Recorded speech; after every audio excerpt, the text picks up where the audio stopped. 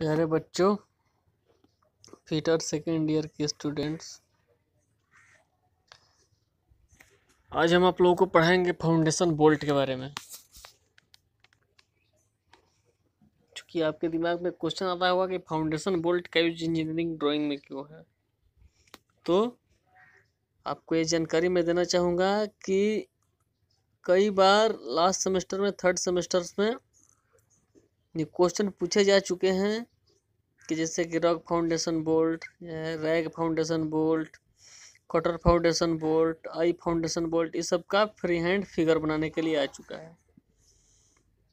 तो आप इस माध्यम से फाउंडेशन बोल्ट सीखेंगे।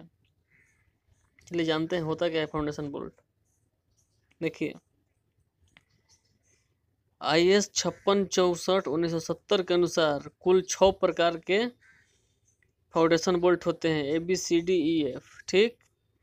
ये एम, एट से एम सेवेंटी टू तक कुल थर्टीन व्यास यानी तेरह विभिन्न व्यास में उपलब्ध होते हैं।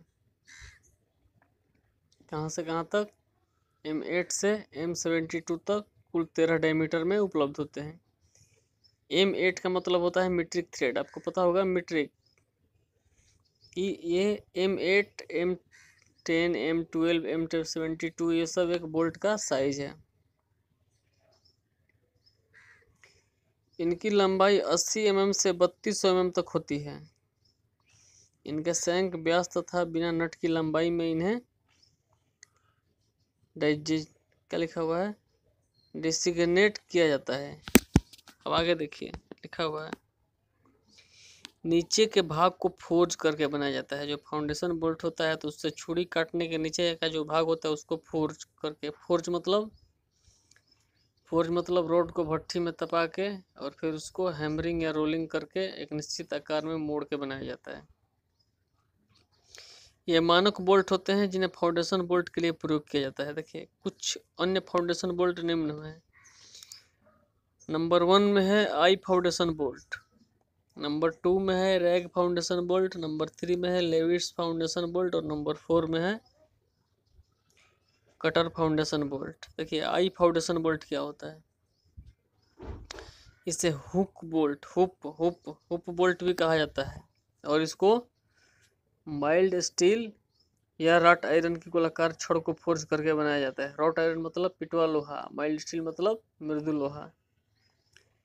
इसके आई हिल में एक राड डाल देते हैं ताकि यह फर्श में मजबूती से पकड़कर रख सके। देखिए चित्र 2.46 चित्र 2.46 में लिखा हुआ है आई फाउंडेशन बोल्ट इसका फिगर बनाने के लिए आता है। हम क्या करते हैं कि आई फाउंडेशन बोल्ट में जो लूप बोल्ट है, उसको क्या करते हैं हम? रोट आयरन या माइल्ड स्टील के एक रड में ऊपर थ्रेड काटी जाती है और उसमें एक बोल्ट में एक नट को डाल दिया जाता है। फिर इसको जिस बेस में इसको फिट करना है, इस बेस में नीचे डाल के और उसके बीच में जो ये लिखा हुआ है diameter D one point five, उसके बीच में एक उसी डायमीटर का या उससे छोटे डायमीटर का रड डाल दिया जाता है। तो रड डालने के बाद इसको कंक्रीट से हम लोग जाम कर देते हैं। तो जैसे ही कंक्रीट डाल देते हैं तो फिर रड पकड़ लेता है और इसमें जंपिंग समाप्त हो जाती है और ये एक फाउंडेशन का काम करने लगता है। तो इसी को बोलते हैं आई फाउंडेशन बोल्ट। इसका युग मतलब हैवी फाउंडेशन जैसे मशीनों वशीनों की स्थापना वगैरह में किया जाता है। चलिए आगे का कल के वीडियो में हम लोग जानेंगे।